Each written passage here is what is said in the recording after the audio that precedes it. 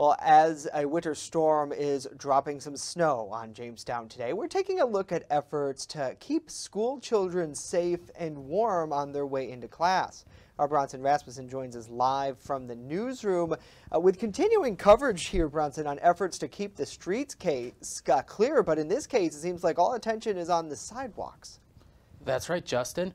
With snowfall totals already accumulating out there, city plows have been hard at work trying to keep roads clear and safe. This includes the purchase of new equipment, specifically two, two new school zone sidewalk plows. If we do get uh, much more accumulation, uh, the plows are all ready to go and mounted up and uh, we've had a light winter so far, but uh, you never know what's going to happen the second half of the winter, and we are prepared.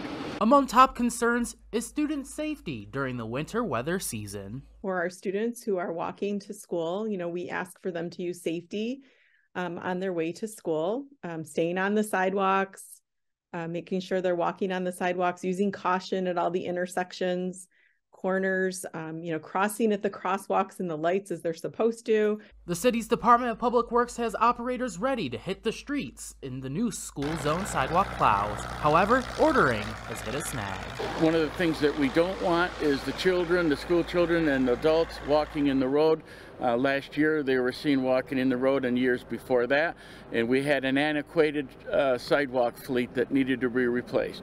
They will be arriving the first or second week of February, there was a back order and a backlog of, of uh, manufacturing. Preparation is key for all ages, with walkers outfitted with the right clothing. And anytime, if anyone needs, any students um, need any kind of winter gear, um, that any clothing, um, our, all of our schools have like clothes closets and we have lots of extra um, gear. So um, we're happy to um, provide those to any students who need them. Both members of the City Council and school district leaders agree drivers and walkers alike need to be aware of each other when heavy snow is falling. Also, homeowners and renters are responsible for clearing their sidewalks within city limits, which is key to helping those kiddos get to school safety. Live in the newsroom, Bronson Rasmussen, WNY News Now.